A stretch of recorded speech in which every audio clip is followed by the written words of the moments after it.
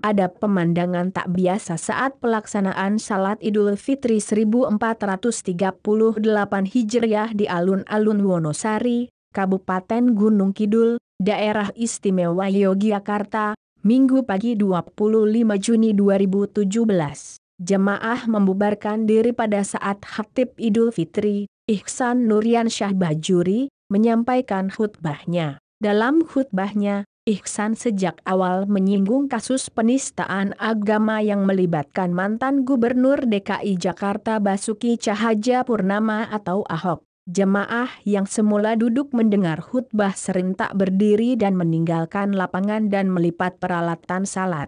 Ketua PHBI, Panitia Hari Besar Islam, Kota Wonosari, Kabupaten Gunung Kidul, Iskanto membenarkan kejadian itu. Menurutnya, Isi khutbah tersebut dinilai vulgar dan terlalu banyak menuding pihak lain dan mempermasalahkan kasus penistaan agama tersebut.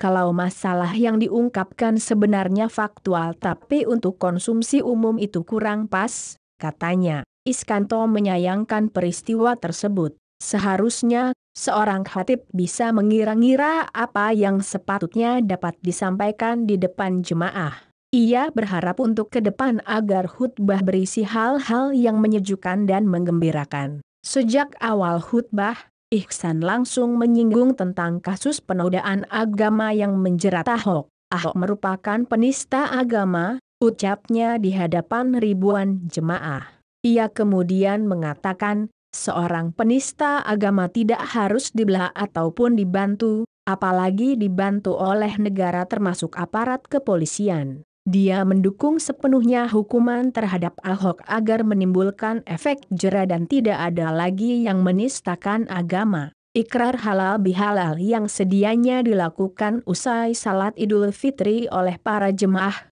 akhirnya hanya diikuti beberapa orang saja, karena sebagian besarnya telah membubarkan diri.